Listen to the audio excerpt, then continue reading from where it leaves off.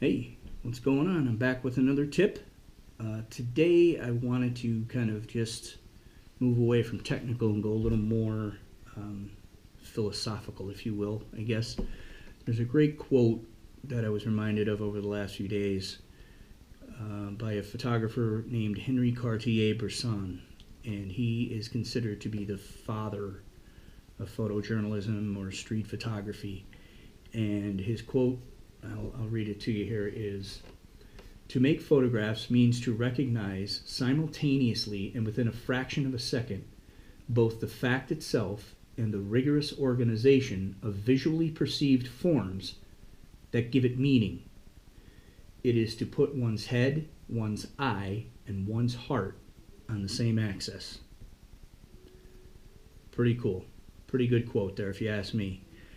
What I interpret that to mean is a photographer is constantly analyzing the situation in front of them. They're trying to think what should I set the camera on to capture what I'm feeling or to show the emotion of the scene. They're trying to remove things from the background. They're trying to visually compose while not losing that emotion while getting the camera settings right. And all of that is what I love to do. And I would hope that when you are taking photos, that you know you stop and you, think about that kind of stuff and re- or just realize that. Um, kind of a funny story.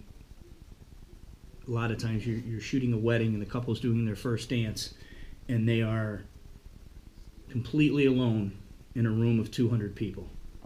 And what I mean by that is they're on the dance floor and they're looking at each other and they're sharing this incredibly special, wonderful moment that they've waited for. And I go, I'm taking all these pictures of, of this bonding, wonderful time.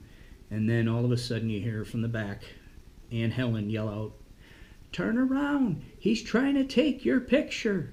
And it's like, Thank you, Aunt Helen but the photo was the emotion of what they were feeling as they're doing their first dance. It doesn't mean they have to turn and look at the camera. So, um, you know, just try to remember that when you're taking pictures that there's a lot more to it if you just go with the flow, if you capture what you're feeling instead of just what you are seeing and learning the aspects of your camera, whatever it might be, whether it's an iPhone or um, you know a Nikon D7 or 6, whatever their, their latest one is. You just have to know the equipment you have and just go with the feeling and, and capture to the best ability you can. So that's today's tip. A little philosophical, but uh, you know, keep those things in mind. Thanks.